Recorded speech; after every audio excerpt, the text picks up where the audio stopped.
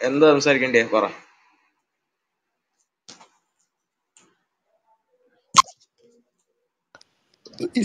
മോളിൽ ടൈറ്റിൽ കണ്ടോ ആസിഫെ? അല്ല അല്ല അല്ല. എന്താ സംസാരിക്കേണ്ടതെന്ന് വെച്ച് കഴിഞ്ഞാൽ ഒരു കാര്യം ചെയ് താങ്കളുടെ പ്രവാചകനായ മുഹമ്മദ് തന്റെ ജീവിതത്തിൽ ചെയ്തിട്ടുള്ള ഒരു അഞ്ച് ഗുണങ്ങൾ തെളിവുകളുടെ അടിസ്ഥാനത്തിൽ ഒന്ന് പറഞ്ഞു തരും. എങ്ങനെ തെളിവ്? എങ്ങനെ തെളിവ് തെളിവ്? ഇപ്പൊ എങ്ങനെ പറഞ്ഞിട്ടത് ഏത് പുസ്തകത്തിലാണ് ചെയ്തിരിക്കുന്നത് എന്നുള്ളത് പറഞ്ഞാൽ മതി എഴുതിയിരിക്കുന്നതെന്ന്. ഞാൻ പണ്ഡിതനല്ല പിന്നെ നിങ്ങൾക്ക് അത് അത്യാവശ്യം എനിക്ക് പഠിക്കാൻ താല്പര്യം നിങ്ങൾക്ക് പഠിക്കാൻ താല്പര്യം ഉണ്ടെങ്കിൽ നിങ്ങൾ ഓരോരുത്തർ വാട്സപ്പ് നമ്പർ അയച്ചു തരാം. ഞാൻ വാട്സപ്പിൽ നല്ല രീതിയിൽ ഒരു തെറ്റും കൂടാണ്ട് നിങ്ങൾക്ക് നിങ്ങൾ പറയുന്നത് നിങ്ങൾക്ക് എന്താ എന്താ എന്തെല്ലാം സംശയങ്ങളുണ്ട് അതെല്ലാം തീർക്കാനുള്ള പരിഹാരം ഞാൻ ചെയ്തു തരാം.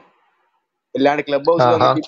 പേര് ഞാൻ എത്ര വലിയ പണ്ഡിതനൊന്നുമല്ല ഞാൻ ഉസ്താദൊന്നുമല്ല അങ്ങനത്തെ ഒരാൾ നിങ്ങൾക്ക് ക്ലബ് ഹൗസ് കിട്ടൂല. കാരണം ഓല ആരും ഇതിന് മെനക്കെടൂല. ഓൽക്കാർക്കും ഇതിന് താല്പര്യമുണ്ട്. പണ്ഡിതന്മാർക്കൊന്നും ഇതിന് താല്പര്യമില്ല.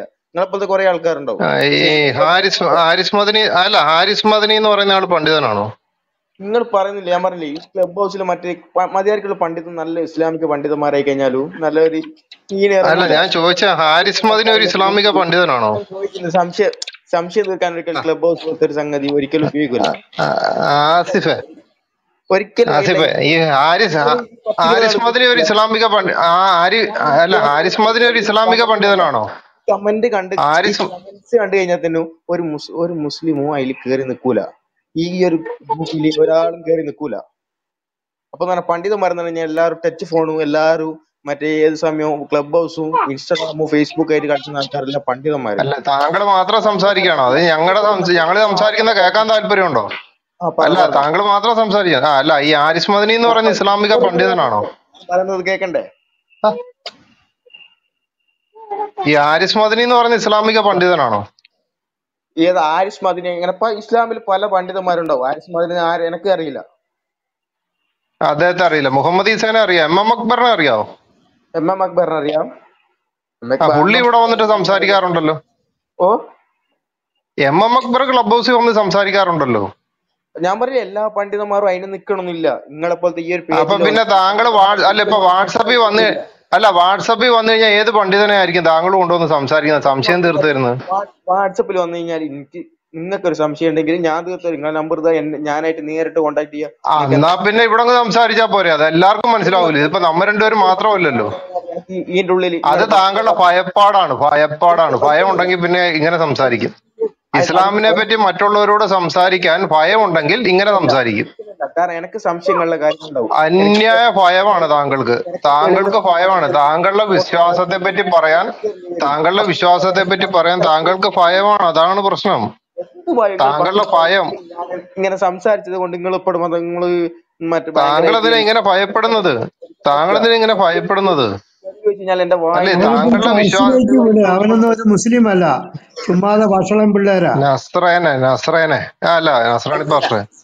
അല്ല ഞാനിപ്പോ നിങ്ങളിപ്പോ. തെളിവ് ചോദിക്കും ഞാൻ തെളിവ് വായോണ്ട് പറഞ്ഞ നിങ്ങൾ അത് വിശ്വസിക്കുവോ ആ ബുക്ക് പറഞ്ഞാ മതി. ബുക്ക് അല്ല ബുക്ക് പറഞ്ഞാലേ നിങ്ങൾ അത് വിശ്വസിക്കും. ബുക്കിലുള്ളത് നിങ്ങൾ വിശ്വസിക്കൂ. ആ എടുത്തോ. ഏതാ ഒരു അഞ്ച് നന്മകൾ എന്ന് പറഞ്ഞു. മുഹമ്മദ് തന്റെ ജീവിതത്തിൽ ചെയ്തു കാണിച്ച ഒരു അഞ്ച് നന്മകൾ അപ്പൊ ഈ പറഞ്ഞ സംസാരിക്കുന്ന ആരാ? എനിക്ക് നിങ്ങൾക്ക് പറഞ്ഞാൽ വെറുതെ അല്ല വിമർശിക്കുന്ന ആൾക്കാർക്ക് വന്ന് പറഞ്ഞ ഒരു കാര്യമില്ലല്ലോ. ആ വിമർശനമല്ലല്ലോ ഇവിടെ പഠനമല്ലേ? ആരോ വിമർശിക്കുന്നത്? അല്ല പഠനാണെങ്കിൽ നിങ്ങൾ ഈ കമന്റിൽ ഒന്ന് നോക്കി നോക്ക്. പഠിക്കാൻ വരുന്ന ആൾ സംസാരിക്കേണ്ട രീതി ഏത്? പഠിക്കാൻ വരുന്ന? ഒരാൾ സംസാരിക്കേണ്ട രീതിയിലെ അല്ല ഒന്നെങ്കിൽ ഇവിടെ സംസാരിക്കുക അല്ലെങ്കിൽ താങ്കൾ ഇവിടെ എന്തെങ്കിലും ജോലി ചെയ്യുവാണെന്നുണ്ടെങ്കിൽ അത് തീർത്തിട്ട് സംസാരിക്കും. ഭയങ്കര ശബ്ദം വരുന്നത് അതുകൊണ്ടാ. ഒരു ജോലിയില്ല അത് വേറെ ആരും അതാ എന്റേതല്ലേ. വേറെ ആരും മൈക്ക് ഓൺ ആക്കി വെച്ചിരിക്കുകയാണോ ഇവിടെ? അച്ഛൻ. മൈക്ക് ഒന്ന് മ്യൂട്ട് ചെയ്തേ. ആ അപ്പൊ നോക്ക് നോക്കിട്ട് പറ അതാ ഞങ്ങളോട് പറഞ്ഞു നിങ്ങൾ മൊത്തമായിട്ടൊന്ന് നോക്കി. ഈ കമന്റ് നോക്ക്. പഠിക്കാൻ വന്ന ആരാ ഉള്ളത് ഇല്ല? പഠിക്കാൻ താല്പര്യമുള്ള ആൾക്കാരെ ഞാൻ പറയില്ല വാട്സപ്പ് നമ്പർ തന്നോ ഞാൻ നല്ല രീതിയിൽ എന്താ നിങ്ങൾക്ക് അറിയേണ്ടത് ഞാൻ പഠിപ്പിച്ചു തരാം. അല്ല അതെന്താ വാട്സപ്പിന്റെ അതോടെ പഠിപ്പിക്കുന്നത് വാട്സപ്പിന്റെ കാലമൊക്കെ കഴിഞ്ഞില്ല? ഓരോ സമയത്തും പുതിയ പുതിയ ഇത് വന്നോണ്ടിരിക്കല്ലേ? അതിന്റെ അകത്ത് സംസാരിക്കുന്നല്ലേ ഏറ്റവും നല്ലത്? സംസാരിക്കുന്നില്ല. നിങ്ങൾക്ക് മനസ്സിലാക്കാൻ താല്പര്യം ഉണ്ടെങ്കിൽ ഏറ്റവും നല്ലത് അതാണ് ഞാൻ പറഞ്ഞത്. അത് അതന്നെ എനിക്ക് മനസ്സിലാക്കാൻ താല്പര്യമാണ്. ഞാൻ ഏകദൈവത്തിലേക്ക് അടുത്തുകൊണ്ടിരിക്കുന്ന വ്യക്തിയാണ്. മനസ്സിലാക്കാൻ പറ്റൂല. എനിക്ക് നിങ്ങൾക്ക് പെട്ടെന്ന് പിന്നെ അങ്ങനെ വായും കൊണ്ട് പറയാതെ പിന്നെ അങ്ങനെ അന്തരീക്ഷത്തിൽ എഴുതി കാണിക്കൂ. ഞാൻ പറഞ്ഞ- ഞാൻ പറഞ്ഞില്ലേ ഞാനൊരു പണ്ഡിതനല്ല. ഞാനൊരു പണ്ഡിതനല്ലെന്നുണ്ടെങ്കിൽ നോക്കിയെന്നാലും ഞാൻ ഓരോ ഒരു ബുക്ക് ഞാനിത് കുറെ ഇസ്ലാമിൽ പല ഗ്രന്ഥങ്ങളുണ്ട്. അപ്പൊ ഇത് പല ഗ്രന്ഥം കഴിഞ്ഞാൽ ഖുർആൻ ഖുർആൻ ഒറ്റ കാണേ ഉള്ളൂ. പിന്നെ മറ്റേ ചെറിയ ഓരോ ഓരോ ഗ്രന്ഥങ്ങൾ വേറെ വേറെ ഉണ്ട്. അപ്പൊ എന്ന് പറഞ്ഞാൽ ഹദീസ് കേട്ടിക്കുക ഹദീസ് എന്ന് പറഞ്ഞ ലക്ഷ ഹദീസ് ഉണ്ട്. അപ്പൊ എന്ന് പറഞ്ഞാൽ എനിക്ക് ഓരോന്ന് നമ്പർ ഇട്ട് വന്ന് പറയാൻ പറ്റ- പറ്റൂല. ഞാനൊരു പണ്ഡിതനല്ല. പണ്ഡിതന്മാർ ഇതിൽ കുത്തിരിക്കൂല. അപ്പൊ എന്ന് പറഞ്ഞാൽ നിങ്ങൾക്ക് അറിയാൻ താല്പര്യം ഉണ്ടെങ്കിൽ ഞാൻ ഇത് തപ്പി എടുത്തിട്ട് എനിക്ക് വാട്സപ്പിൽ എനിക്ക് നിങ്ങൾക്ക് ഇന്നോ നാളെയോ അയച്ചു കഴിഞ്ഞാൽ നിങ്ങൾക്ക് മനസ്സിലാക്കാൻ പറ്റൂ. റഫറൻസ് വേണ്ട. റഫറൻസ് ഇല്ലാതെ അജീഷെ റെഫറൻസ് ഇല്ലാതെ അഞ്ച് കാര്യം പറഞ്ഞു? റെഫറൻസ് ഇല്ലാതെ എന്ത് നിങ്ങൾക്ക് വേണ്ടത്? വിശദ നിങ്ങൾ ഇതുവരെ ഒന്നും കേട്ടിട്ടില്ല. അന്യപുരുഷന്റെ പത്ത് ധാർമ്മിക ഗുണങ്ങൾ പറ. റെഫറൻസ് ഒന്നും വേണ്ട. ഓർമ്മയെന്ന് പറഞ്ഞാൽ മതി. ധാർമ്മികത ഗുണം എന്ന് പറഞ്ഞാൽ എന്തെന്നാ കൂടെ ഉദ്ദേശിക്കുന്നത്? ഈ ഇസ്ലാമായ മനുഷ്യന്മാരെ നിങ്ങൾ നോക്കി നോക്ക്. ഓര് ചെയ്യുന്ന ഓരോ നന്മതും ഒരു മനുഷ്യനോട് അങ്ങോട്ട് മുഖത്ത് നോക്കി ചിരിച്ചു കഴിഞ്ഞാൽ അവരെ കൂലിയാന്ന് പറഞ്ഞ മനുഷ്യനാ. അയൽ അൽ അയൽവട്ടത്തുള്ള നാൽപ്പത് വീടുകൾ പട്ടിണി എടുക്കുമ്പോൾ നിങ്ങൾ വയറ് നിറച്ച് ഭക്ഷണം കഴിക്കരുത് എന്ന് പറഞ്ഞതാ. എന്താ നിങ്ങൾക്ക് വേണ്ടിയത് ഇനി? ഞങ്ങൾ ചോദിച്ചത് ഒരു മനുഷ്യൻ ഈ മുഹമ്മദിൽ നിന്ന് പകർത്തേണ്ട അദ്ദേഹം പഠിപ്പിച്ചല്ലെന്ന് മുഹമ്മദ് എന്ന മനുഷ്യൻ ജീവിതത്തിൽ എനിക്ക് കേക്ക് മുഹമ്മദ് എന്ന മനുഷ്യൻ മറ്റുള്ള മനുഷ്യരെ അനുകരിക്കാൻ പാകത്തിന് അദ്ദേഹത്തിന്റെ ജീവിതത്തിൽ നിന്ന് മുഹമ്മദിൽ നിന്ന് പഠിക്കുന്നു. ഒരു ക്ലാസ് ഒന്നും അല്ലെന്ന് നമുക്കിപ്പോ പേരുടെ വീട്ടിൽ പോയി ആകാറുണ്ടോ നോക്കി ഒരു ലോകത്തൊരു മനുഷ്യൻ മനുഷ്യനെ ഭക്ഷിക്കാൻ പറ്റിയല്ല. അത് നടക്കുന്ന കാര്യമല്ല. അല്ല പറയട്ടെ പറയട്ടെ. ഞങ്ങൾ ചോദിച്ചത് ഈ മുഹമ്മദ് എന്ന മനുഷ്യനിൽ നിന്ന് സമൂഹം പഠിക്കേണ്ട അദ്ദേഹത്തിന്റെ ജീവിതത്തിൽ നിന്ന് പഠിക്കേണ്ട കാര്യമാണ്. അദ്ദേഹം ഇങ്ങനെ ചെയ്തു നമുക്കും ഇങ്ങനെ ചെയ്യാം എന്ന് പറയത്തക്ക വിധത്തിൽ ഒരു അഞ്ച് കാര്യം ഒന്ന് പറഞ്ഞാൽ മതി. ഒന്ന് ഒരു മനുഷ്യന്റെ മുഖത്ത് നോക്കി പുഞ്ചിരിക്കുന്നത് പുണ്യമുള്ള കാര്യം. മതി അഞ്ച് വേണ്ട ഒറ്റ ഒന്നാമത്തെ കാര്യം. ഒന്നാമത്തെ രണ്ടാമത്തെ കാര്യം.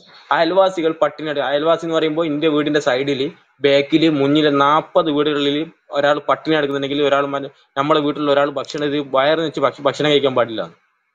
എന്ന് വെച്ചാൽ അയൽവാസി പട്ടിണി എടുക്കുമ്പോൾ പഠിപ്പിച്ച ക്ലാസ് ആണ്. ഞങ്ങൾ ചോദിച്ച ക്ലാസ് എടുത്ത കാര്യമല്ല. അത് അണികളെ എന്ത് പഠിപ്പിച്ചു എന്നല്ല ആ മനുഷ്യൻ ജീവിതത്തിൽ നിന്ന് ഞങ്ങൾ എന്ത് പഠിക്കണം? അദ്ദേഹം ഇപ്പൊ ഗാന്ധിജി പറഞ്ഞു ഒരു അല്ല കൊടുത്തോളം മാഷ ഞാൻ പറഞ്ഞു കൊടുക്കാം ആസിഫെ ചോദിക്കുന്നത് പഠിപ്പിച്ചു എന്നുള്ളതല്ല തന്റെ ജീവിതത്തിൽ അദ്ദേഹം ചെയ്തു കാണിച്ചിട്ടുള്ളതിലുള്ള പറയുന്നേക്ക് തന്റെ ജീവിതത്തിൽ ചെയ്തു കാണിച്ചിട്ടുള്ള ഒരു അഞ്ച് ധാർമ്മിക ഗുണങ്ങളാണ് പറയാൻ പറഞ്ഞത് തന്റെ ജീവിതത്തിൽ ചെയ്തു കാണിച്ചു വേറെ ഒരാളെ ഇത് ചെയ്യണമെന്ന് കൊണ്ട് പഠിപ്പിച്ചല്ല അദ്ദേഹം സ്വയമായിട്ട് ചെയ്തു കാണിച്ച കാര്യത്തെ പറ്റിയാണ് കൊടുത്തോട്ട് മഹർഷി ചോദിച്ചത്. അദ്ദേഹം ചെയ്തു തന്നത് എന്തെല്ലാം കാര്യങ്ങളുണ്ട്? ഒന്നാമത്തെ കാര്യം എന്ന് പറഞ്ഞാൽ യുദ്ധം മറ്റേ യുദ്ധ അല്ല മറ്റേ മദീനയിൽ പോയി മക്കയിൽ നിന്ന് മക്കയിൽ നിന്ന് റസൂലിനെ ഓടിച്ചതാ അവിടെയുള്ള ജനങ്ങൾ.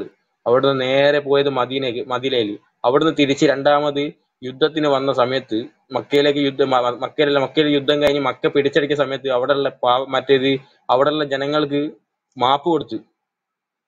അതുപോലെ നബ്സല്ലാ അലൈഹി സ്വലമയുടെ മറ്റേ എളാപ്പായ അബ്ബ മറ്റേ അംസർ അലിയല്ലാഹു അനുവിനെ വെട്ടി മറ്റേ കൊന്ന് ഒരു യുദ്ധത്തിൽ കൊന്ന് മറ്റേ മാറ് പിളർത്തി അതിൽ കരൾ കടിച്ച് തുപ്പിക്കഴിഞ്ഞ് തുപ്പിക്കളഞ്ഞ ഒരാളുടെ അയാൾക്ക് അയാൾ ഇസ്ലാം സ്വീകരിച്ച് അയാൾക്ക് മാപ്പ് കൊടുത്തു. ഒരാളല്ല ഒരു സ്ത്രീയാണ്. ഹിന്ദെന്നാ പേര്? അബൂ സുഫിയാന്റെ ഭാര്യയാണ്. ആ, ഇല്ലാത്ത ഞങ്ങൾ പറഞ്ഞുതരാം അബൂ സുഫിയാന്റെ ഭാര്യയാണ്. ഹിന്ദെന്നാണ് അവരുടെ പേര്. അംസയുടെ കരൽ കടിച്ചു ആ തുപ്പി. ഹിന്ദ്. ആ, ആ ആ തുപ്പി തുപ്പി. ആ മനസ്സിലായി? അതറിയില്ലേ? അവർക്ക് മാപ്പ് കൊടുത്തില്ലേ? അവരുടെ അവരുടെ പേരെന്താ? അവരുടെ പേരെന്താ? ഹിന്ദി ഹിന്ദ്. ആ ഈ പെണ്ണിന് മാപ്പ് കൊടുത്തില്ലേ? അത് എങ്ങനെ മാപ്പ് കൊടുത്തത്? ഇസ്ലാം ആയതുകൊണ്ടല്ലേ മാപ്പ് കൊടുത്തത്? മാപ്പ് കൊടുത്തില്ലേ? അല്ല ഇസ്ലാം ആ ഇനി അടുത്ത പറ മൂന്നാമത്തെ പറ മൂന്നാമത്തെ പറ. ആ ഹിന്ദു വ- മൂന്നാമത്തെ ആ ഹിന്ദു ഹിന്ദു വരുമ്പോൾ ഗസ്വ ഹിന്ദു എന്ന് ചോദിക്കേണ്ട ആവശ്യമാണ് ഗസ്വ ഹിന്ദു. ആ അതല്ല ബോണ്ട അവിടെ നിൽക്കും മൂന്നാമത്തെ കാര്യം പറ മൂന്നാമത്തെ പറ മൂന്നാമത്തെ പറ. ആസിഫ മൂന്നാമത്തെ കാര്യം പറ. മൂന്നാമത്തെ ഒരു ഭാര്യനോട് എങ്ങനെ ഏത് നിലയ്ക്ക് നിൽക്കണമെന്ന് പഠിപ്പിച്ചു തന്നിട്ടുണ്ട്. ഒരു ഭാര്യയോട് എങ്ങനെ നിൽക്കണമെന്ന് രണ്ട് ഭാര്യ ഉണ്ടെങ്കിൽ രണ്ട് ഭാര്യമാരോട് എങ്ങനെ നിൽക്കണമെന്ന് പഠിപ്പിച്ചു കൈകാര്യം ചെയ്ത് ആ ഓക്കെ. ആ ശരി. ആ, ഇനി അടുത്ത മൂന്ന് നാലാമത്തെ. നാലാമത്തത് പറയാം പറയാം പറയാം.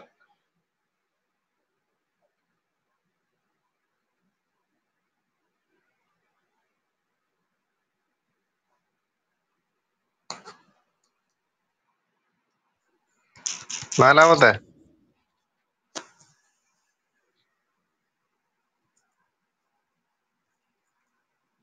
ജിഷ വാട്സാപ്പിൽ സംഗതി വരാനുള്ള ഒരു സമയം എടുക്കും അതുവരെ അടുത്ത കാര്യം പറ.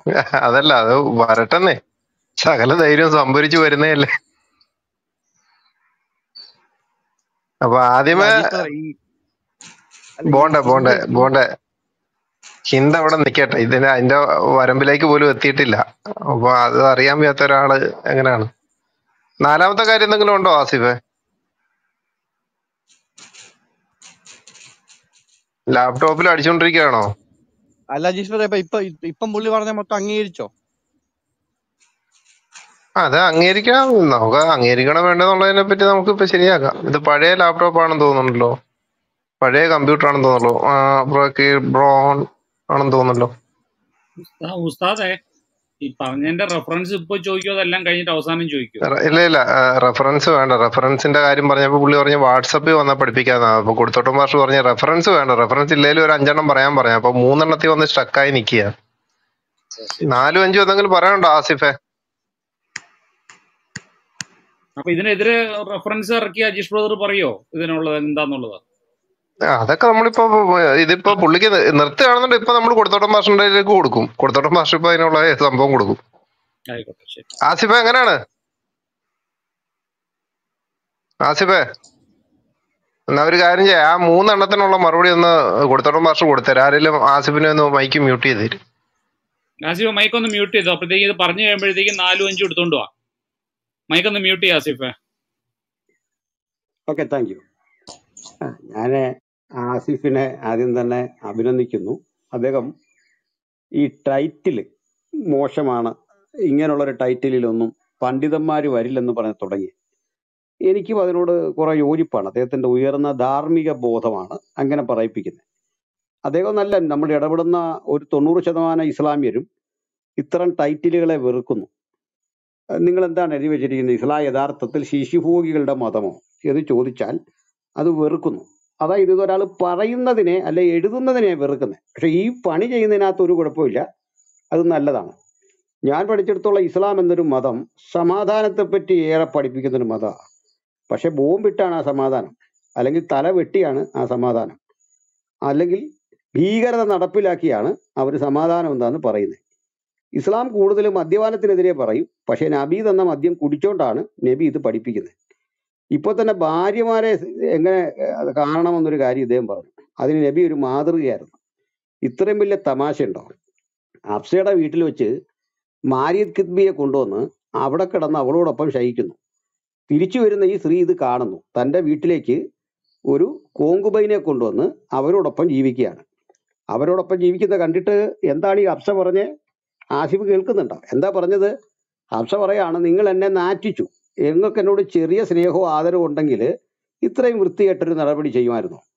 അപ്പോൾ അദ്ദേഹം പറഞ്ഞു ഞാൻ ഇനി ഒരിക്കലും അങ്ങനെ ചെയ്യില്ലെന്ന് അള്ളാഹുവാണ്. അള്ളാഹുവിനെ തൊട്ട് സത്യം ചെയ്യുക പ്രപഞ്ചനാഥൻ എന്നൊക്കെ ഇവർ വിളിക്കുന്ന അള്ളാഹുവിനെ തൊട്ട് സത്യം ചെയ്യാണ്. ഇത് ആയിഷയോട് പറയരുത് എന്ന് ചട്ടം കെട്ടുകയാണ്. പക്ഷേ അബ്സയ്ക്ക് അരിശം വന്നിട്ട് അബ്സ ഇതെല്ലാം ആയിഷയോട് പറയുന്നു. ആയിഷ അദ്ദേഹത്തിന്റെ പ്രായം കുറഞ്ഞ പത്നിയാണ്. ആയിഷ ആകെ കരിപ്പടിക്കുന്നു. ഇതോടുകൂടി നബി ഒരു തീരുമാനം എടുക്കുന്നു. ഇനി ഒരു ഭാര്യമാരരികിലും പോവുകയില്ലെന്ന് തീരുമാനമെടുക്കുന്നു. പക്ഷെ നബിക്ക് അദ്ദേഹത്തിന്റെ സ്വാഭാവികമായ ആത്മനിയന്ത്രണം നഷ്ടപ്പെടുന്നു. അദ്ദേഹത്തിന് പോയേ പറ്റൂന്ന് വരുന്നു. കരുണാമയനായ അള്ളാഹു പെട്ടെന്ന് ആയത്ത് മാറ്റുന്നു. ആയത്ത് ഇറക്കി കൊടുത്ത് നബിയോട് പറയുന്നു അങ്ങനല്ല. സ്ത്രീകളെ ആദ്യം പേടിപ്പിക്കുകയാണ്. നിങ്ങൾ ഇനി അങ്ങനെ അള്ളാഹുവിന്റെ ദൂതന്റെ അടുത്തൊക്കെ പെരുമാറിക്കഴിഞ്ഞാൽ നിങ്ങളുടെ കാര്യം പോക്കാണ്. അള്ളാഹു കുറെ കൂടെ മിടുക്ക മിടുക്കിമാരായ സുന്ദരിമാരായ സ്ത്രീകളെ നബിക്ക് കൊടുക്കും. നിങ്ങൾക്കൊട്ട് പുനർവിവാഹം കഴിക്കാനും പറ്റിയല്ല എന്ന് പറയുന്നു. അപ്പൊ ഇദ്ദേഹം പറയുന്ന അനുസരിച്ചാണെങ്കിൽ രണ്ട് കാര്യങ്ങൾ കാണാം. ഒരു ബഹുഭാരിത്വം അനുഷ്ഠിക്കാം. ബഹുഭാരിത്വം അനുഷ്ഠിക്കുന്ന മനുഷ്യന് അയാളുടെ ഭാര്യയുടെ വീട്ടിലേക്ക് മറ്റൊരു കോങ്കുപൈനെ കൊണ്ടുവന്ന് അവിടെ വെച്ച് ശയിക്കാം. ഇനി അടുത്തൊരു കാര്യം നീ ഉദ്ദേശിക്കുന്നവരെ നിനക്ക് മാറ്റി നിർത്താം. ഉദ്ദേശിക്കുന്നവരെ നിന്റെ അരികിൽ കൊണ്ടുവരാം. ഇനി പ്രായമായതിന്റെ പേര് സൗദാബിബിയെ ഉപേക്ഷിക്കാം. ചുരുക്കി പറഞ്ഞാൽ ഇതൊക്കെ മാതൃകയാക്കാം എന്നാണ് ഇദ്ദേഹം പറഞ്ഞു വരുന്നത്. നമ്മൾ ചോദിച്ച അദ്ദേഹത്തിന്റെ മാതൃകയാണ്. ഇനി മാതൃക ഇനത്തിൽ പറഞ്ഞൊരു കാര്യമുണ്ട്. അടുത്ത നാൽപ്പത് വീട്ടിൽ പോയിട്ട് നിങ്ങൾ പട്ടിണിയാണോ എന്നറിയണം. തൊട്ട് മുമ്പും ലോകത്തേതെങ്കിലും ഒരു മനുഷ്യന് പ്രായോഗികമാണോ? നാൽപ്പത് പോയിട്ട് നാല് വീട്ടിൽ പോയി തിരക്കുന്ന ഒരു സംവിധാനം മുസ്ലിം വീടുകളിൽ പോലും ഇല്ലല്ലോ. എവിടെയുള്ളത് ഇത് വല്ലതും പ്രായോഗികമാണോ? അത് ക്ലാസ് എടുത്തു എന്നായി പറഞ്ഞത്. ഇങ്ങനെ ചെയ്യണമെന്ന്. കാരണം അപ്രായോഗികമായ ഒത്തിരി ക്ലാസ്സുകൾ അദ്ദേഹം എടുത്തിട്ടുണ്ട്. ഇദ്ദേഹം പറയാത്ത കുറേ കാര്യമുണ്ട്. അതിലൊന്ന് ഞാൻ പറയാം. അദ്ദേഹത്തിന്റെ അനുഗാമികൾ ഒരിക്കൽ യുദ്ധം കഴിഞ്ഞ് വരുന്ന വഴിക്ക് തീ കായുന്നുണ്ട്. ഈ തീ കായുമ്പോഴേക്ക് ഈ തീയുടെ അരികിലൂടെ ഉറുമ്പുകൾ ഇഴഞ്ഞു പോകുമ്പോൾ അദ്ദേഹം പറയുകയാണ് ഉറുമ്പുകളെ കൊല്ലരുത് അതായത് പൊക്കോട്ടെ. ആരാ ഇവിടെ തീ കൂട്ടിയേച്ച് ബഹളം കൂട്ടുന്നുണ്ട്? അപ്പൊ ഈ ഉറുമ്പുകളെ കൊല്ലരുത് എന്ന് പറയുന്ന മനുഷ്യനാണ് ആയിരക്കണക്കിന് മനുഷ്യരെ നിഷ്കരണം കൊന്ന് അവരുടെ ചോരയിൽ വാൾ കഴുകുന്നത് കൊന്ന മനുഷ്യരെ കൊണ്ട് കിണറ്റി തട്ടിയിട്ടിട്ട് അവരുടെ ഈ ആർത്തനാദം കേൾക്കാൻ അവിടെ മുഹമ്മദ് ഒരു ദിവസം മുഴുവൻ പാർക്കുമായിരുന്നാണ്. ഒരു മുഴുവൻ മരിച്ചു കഴിഞ്ഞ് ചീഞ്ഞഴുകിയ ശവത്തോട് പോയിട്ട് ഇന്നിന്നവന്റെ മകനെ അള്ളാഹുവിന്റെ ദൂതനോ ദൂതനെയും അള്ളാഹുവിനെയും കീഴ്പ്പെട്ടു പോയിരുന്നെങ്കിൽ കൊള്ളായിരുന്നു എന്ന് ഇപ്പോൾ നിനക്ക് തോന്നുന്നുണ്ടോ?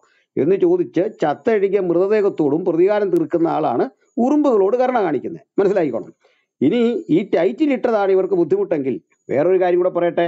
എന്തായിരുന്നു ജനാബ് എം എം അക്ബറുടെ ടൈറ്റിൽ നിങ്ങൾക്ക് അറിയോ കേൾക്കുന്നവർക്ക് അറിയോ അന്യന്റെ ഭാര്യ ദാവീദിന്റെ കിടപ്പറയിൽ. അങ്ങനെ ടൈറ്റിൽ ഇടാമോ? ഞങ്ങളെന്നുള്ളത് പ്രശ്നമൊന്നുമില്ല അത് സത്യമല്ലേ? ഞങ്ങൾ അങ്ങനെ നിങ്ങൾ ഇട്ടാലും ചർച്ചയ്ക്ക് വരും. കാരണം ദാവീദ് തെറ്റ് ചെയ്തെങ്കിൽ തെറ്റെന്ന് പറയാനുള്ള ആർജവം ക്രിസ്ത്യാനിക്കുമുണ്ട് ജൂതനുമുണ്ട് ആ മതഗ്രന്ഥങ്ങൾക്കുമുണ്ട് മനസാക്ഷിയുള്ള സകല മനുഷ്യർക്കുണ്ട്. ഒ എൻ വിയുടെ ഒരു കവിതയിൽ ഈ വിഷയം എഴുതുന്നുണ്ട് ഒ എൻ വി. എന്തെന്നാ ദാവീദ് ചെയ്ത ഈ കാര്യം. സൂര്യഗീതം എന്ന് പറഞ്ഞ ഒ എൻ വിയുടെ ഒരു കവിതയുണ്ട്. ആരും ഒ എൻ വിയെ കൊന്നില്ല. ഒ എൻ വിക്കെതിരെ പ്രക്ഷോഭം നടത്തിയില്ല. ഒ എൻ വിക്കെതിരെ യഹൂദനോ ക്രിസ്ത്യാനിയോ ഒന്നും തെരുവിലിറങ്ങിയില്ല. ക്രിസ്തീയ കലാലയങ്ങളിലും ആ പാട്ട് പഠിക്കുന്നുണ്ട് പാടുന്നുണ്ട് സൂര്യഗീതം. അതിനകത്തൊരു ഭാഗമാണ്. അന്യന്റെ അജഗണങ്ങളെ അവൻ പോറ്റിക്കൊണ്ടിരുന്ന അജഗണങ്ങളെ അപകരിച്ച് എന്നൊക്കെ പറയുന്ന ആ കഥ കൃത്യം ഗാനമാക്കി എഴുതിയിട്ടുണ്ട്. അത് ചിന്താശേഷിയുള്ള ഏത് മനുഷ്യനും ദാവീദിന്റെ പ്രവൃത്തിയെ വെറുക്കും. ദാവീദിനെതിരെ വന്നിരിക്കുന്ന നാദാനാണ് ക്രൈസ്തവ സിദ്ധാന്തത്തിന്റെ യഹൂദ വീക്ഷണത്തിന്റെയും പ്രാണേതാവ്. അല്ലാതെ ദാവീദ് ചെയ്ത തെറ്റല്ല. ഇനി അടുത്തൊരു കാര്യം. എന്തായാലും നമ്മ മക്കളുടെ വേറൊരു ടൈറ്റിൽ മദ്യം വിളമ്പുന്ന യേശു. അപ്പൊ നബീദ് എന്ന മദ്യം കുടിക്കുന്ന ആളാണ് അവരുടെ അനുഗാമിയാണ്. അത് എറിഞ്ഞിട്ട് പോയി ലക്ഷദ്വീപിൽ മദ്യം അടിച്ച് കിടന്ന ആളാണ്. കള്ള് അടിച്ചേച്ച് കിടന്ന ആളാണ് ഈ എം എം അക്ബർ എന്ന് പറയുന്നത്. അപ്പോൾ ഇവർക്കിതാകാം. തിരിച്ചായി കഴിഞ്ഞാൽ അവർക്ക് അത് സഹിക്കാൻ പറ്റില്ല. ഏതായാലും ഇവരുടെ ഉള്ളിൽ എവിടെയോ ഒരു നന്മയുടെ ബോധം കിടക്കുന്നു. ഇത്തരം ടൈറ്റിൽ അഴുക്കാണ് എന്ന് അവർക്ക് പറയേണ്ടി വരുന്നു. പക്ഷേ പ്രവാചകൻ ചെയ്തു കൂട്ടിയ ഇത്തരത്തിലുള്ള വൃത്തികേടുകളെ മുഴുവൻ ന്യായീകരിക്കുന്ന ഒരു ഇരുണ്ട മനസ്സുള്ളത് കൊണ്ട് അവർക്ക് ഇത് പഥ്യമായി തോന്നുന്നില്ല. ഉള്ളിന്റെ ഉള്ളിൽ എവിടെയോ കിടപ്പുണ്ട്. ഇത് തെറ്റാണെന്ന്. ആ നല്ല ബോധത്തെ ഞാൻ അഭിനന്ദിക്കുന്നു. ഇനി മൂന്നാമത് ഇദ്ദേഹം പറഞ്ഞത് മാപ്പ് കൊടുത്തു എന്നുള്ള കാര്യം. അതിന് മുമ്പ് ഒരു കാര്യം കൂടി പറഞ്ഞു. മക്കയിൽ നിന്ന് മദീനയിലേക്ക് പോയി. മക്കയിൽ നിന്ന് മദീനയിലേക്ക് ഓടിപ്പോയിട്ട് തിരിച്ചവിടെ വന്നപ്പോൾ അവിടെയുള്ള ആളുകൾക്ക് മാപ്പ് കൊടുത്തു ഈ മാപ്പിന്റെ കഥയൊക്കെ പറയാതിരിക്കാൻ നല്ലത്. ഈ മാപ്പ് കൊടുത്തത് എന്തിനാണ്? അത് അജീഷ് ഇവിടെ കൃത്യം ബോധ്യപ്പെടുത്തിയിട്ടുണ്ട്. പണ്ട് അബൂ സുഫിയാൻ എതിരായിരുന്നു.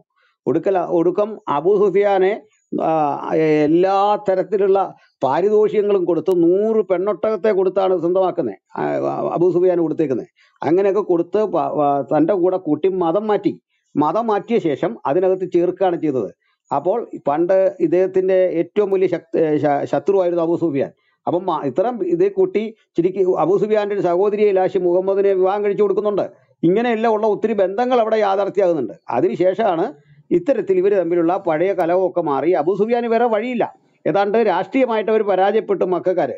അപ്പോൾ തിരിച്ച് ഈ മദീനയിലെ സകലവിധ അധികാരങ്ങളും കൈയാളി അവിടെ ശാന്തമായി കഴിഞ്ഞിരുന്ന യഹൂദ സമൂഹത്തെ മുഴുവൻ കൊന്നൊടുക്കി അവരുടെ സ്വത്തും വസ്തുവകളും ഒക്കെ ഇല്ലായ്മ ചെയ്തിട്ട് സോഫിയ എന്ന് പറയുന്ന സ്ത്രീയെ കൂടി അവിടുന്ന് അപകരിച്ച് കൊണ്ടുവന്ന് അവരെയും കൂടെ സ്വന്തമാക്കിക്കൊണ്ട് വരുന്ന വരവിലാണ് തിരിച്ച് ഇവിടെ വരുമ്പോൾ ഇവർക്ക് മാപ്പ് കൊടുത്തു എന്ന് പറയുന്നത്.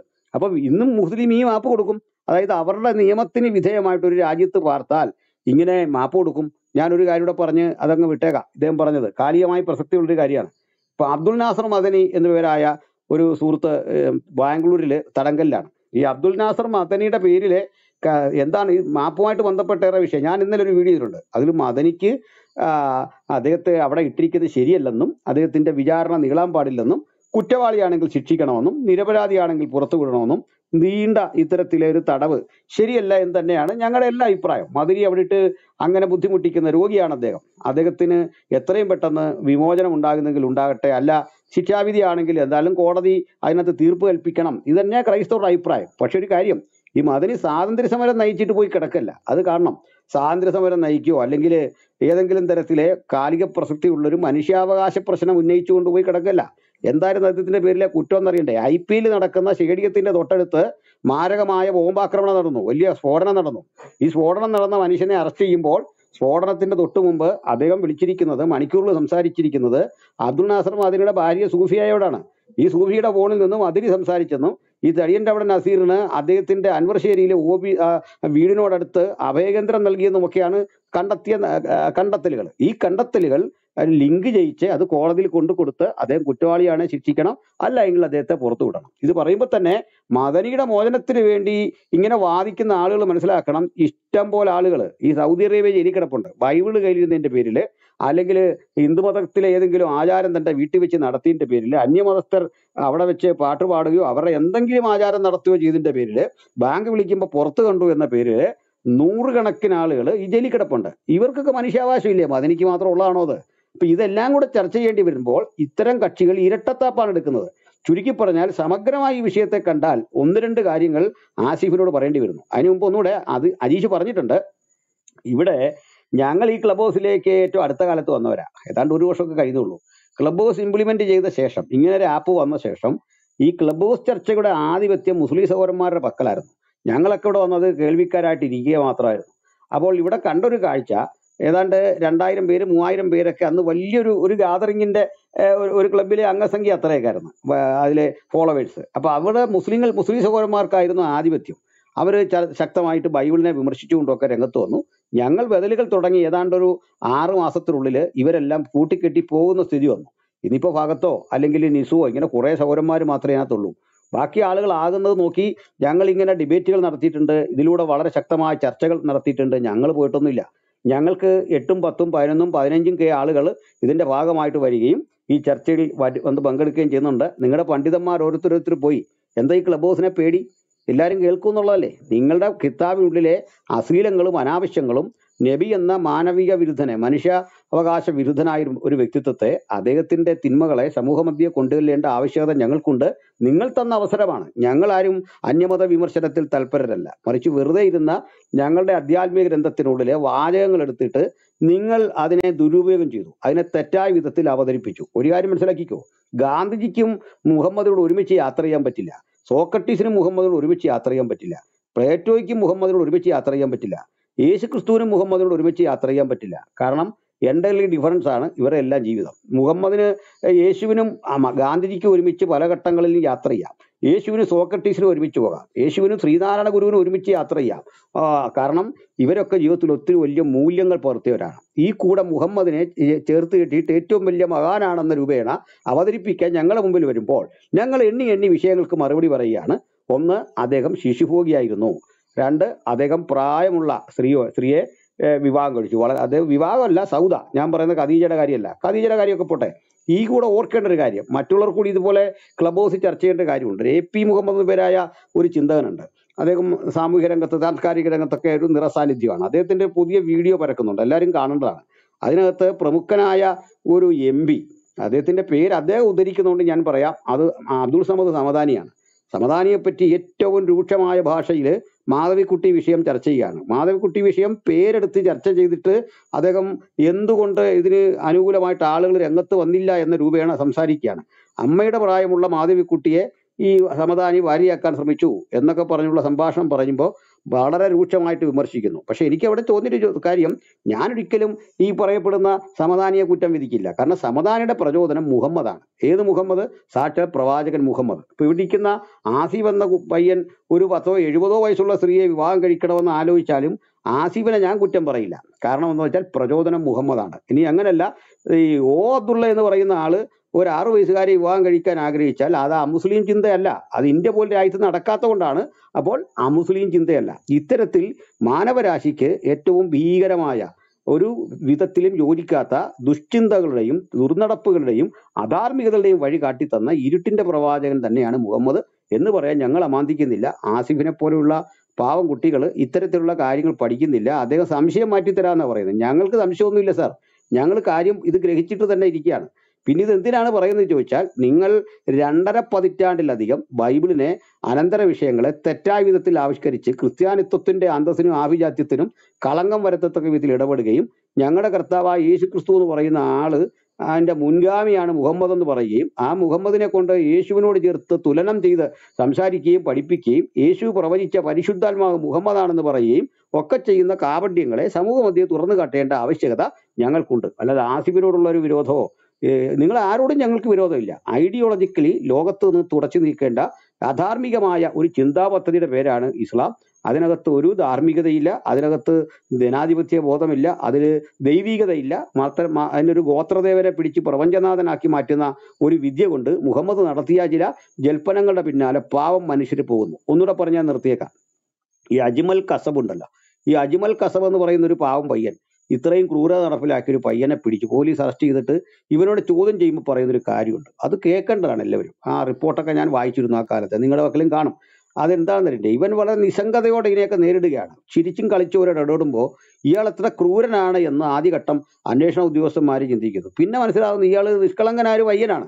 എന്താ കാര്യം എന്നറിയണ്ടേ ഇവനോട് ചോദിച്ചു നീ എന്തിനാണ് ഇതൊക്കെ ചെയ്തത്? ഒരു തെറ്റും നിനക്ക് പരിചയമില്ലാത്ത മനുഷ്യരെ നിന്നെ കണ്ടിട്ടില്ലാത്തവരെ നീ എന്താണ് ഇവന്റെ ഒന്നും അറിയാതെ ചെയ്യുന്നതിന്റെ കാര്യം എന്താ? അപ്പോൾ അവൻ പറയുന്ന സ്വർഗത്തിൽ ഹൂറിമാരെ കിട്ടും. എനിക്ക് സ്വർഗത്തിൽ പോകണം ഇന്ന ഇന്നതാണ് എന്റെ കാര്യം. എന്ന് പറഞ്ഞാൽ ഈ കുട്ടികളെയെല്ലാം മദ്രസകൾ ഇതുപോലെ ഈ ആശയപരമായി ഈ വല്ലാതെ മാറ്റി അവരുടെ ചിന്തകളിൽ അവരെ മനസ്സിൽ മുഴുവൻ ഇത്തരം അശ്ലീല ബോധത്തെ നിറച്ചിട്ടു. ഇവിടെ ഒരു സഹോദരി മുമ്പേ പറഞ്ഞ പോലെ സ്വർഗത്തിൽ ചെന്നാലും ഇതൊക്കെയാണ് സ്ഥിതി എന്ന് മനസ്സിലാക്കിക്കൊണ്ട് ലൈംഗികജന്യമായ ഒരു ജീവിതമാണ് സ്വർഗം എന്ന് പഠിപ്പിച്ച ഏറ്റവും മാരകമായ അബദ്ധം. അതിനുവേണ്ടി ഇനി അതൊക്കെ പഠിച്ചോട്ടെ. അതിനുവേണ്ടി അവിടം പ്രാപിക്കാൻ നല്ല വഴി മുഹമ്മദിനെ കുറിച്ച് എന്തെങ്കിലും പറഞ്ഞു പോയാൽ അവനെ തട്ടുക തല വെട്ടുക കൊല്ലുക ഇത്തരം മ്ലേച്ഛത. ഇത് കിരാതമാണ് ഭീകരമാണ്.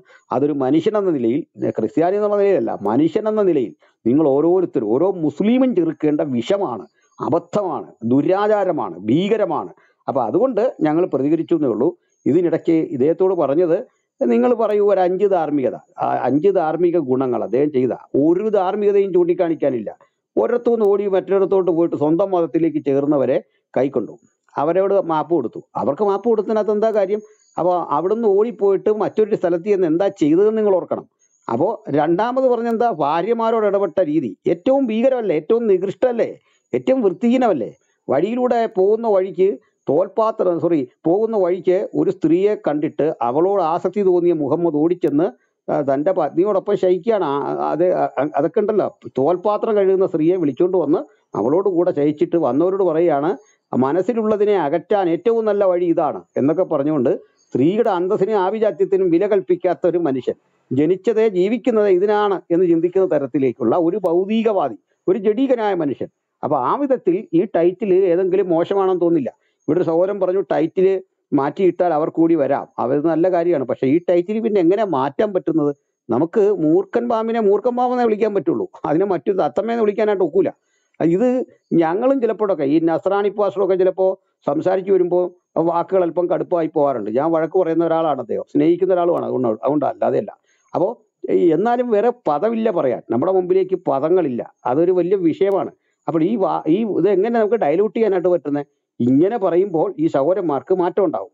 ഞാൻ ശ്രമിക്കണം. ഒരു കാര്യം കൂടെ ഓർമ്മ വന്നുകൊണ്ട് പറയാം. ഇന്നിപ്പം ഞാൻ എന്റെ നാട് മുസ്ലിം സഹോദരന്മാർ ധാരാളമുള്ള സ്ഥലമാണ്.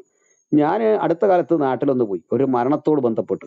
ഞാൻ ഓർത്തു ഇവരൊക്കെ എന്നോട് പകയോടെ പെരുമാറും എന്നൊക്കെ ഓർത്താ പോകുന്നത് കാരണം മറ്റു സ്ഥലങ്ങളിൽ നിന്ന് ഇങ്ങനെയൊക്കെ ഉണ്ടാകുന്നു പക്ഷെ ഇന്ന് അവരിൽ ഭയങ്കര മാറ്റം അവർ സംസാരിക്കാൻ തയ്യാറാകുന്നു അവർ ഈ ചർച്ചകളൊക്കെ കണ്ടിട്ട് അവർക്ക് ഭയങ്കര മാറ്റം.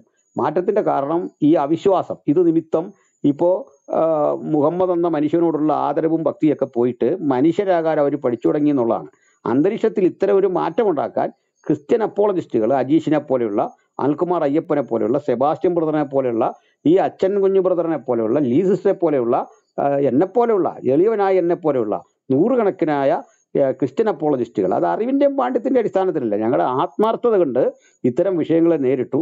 ഇപ്പം ഞങ്ങളുടെ സുഹൃത്തുക്കൾ ഇസ്ലാമിൽ വർദ്ധിച്ചിട്ടുണ്ട്. അല്ല അജീഷിനോടും ചോദിക്കും മാറ്റം ഉണ്ടോന്ന് മാറ്റം പഴയ രീതി ഭീകരതയുടെ വഴിയൊക്കെ അവർ വിട്ടു. നല്ല കാര്യം. അതോ ഇത് മഴയ്ക്ക് മുമ്പുള്ള ശാന്തതയാണോ? എന്താണെന്ന് നമുക്കറിയില്ല. ഏതായാലും ഒരു കാര്യം മനസ്സിലായി. മുഹമ്മദിന്റെ ഐഡിയയും ആ പ്രത്യയശാസ്ത്രവും ഇനിയുള്ള കാലത്ത് ബോധമുള്ള വായനാശീലമുള്ള പ്രബുദ്ധതയുള്ള ഒരു സമൂഹത്തിൽ വിറ്റഴിക്കാൻ കഴിയാത്ത വിഷ ഉൽപ്പന്നങ്ങളാണ് കാലകരണപ്പെട്ട ഗുളികകളാണ്. അതിനി ഒരു കാര്യമായ നിലനിൽപ്പില്ല എന്ന നിലയിലേക്ക് കാര്യങ്ങൾ പോകുന്നു എന്നുള്ളതാണ് ഒടുവിൽ കിട്ടുന്ന ചിത്രം. താങ്ക്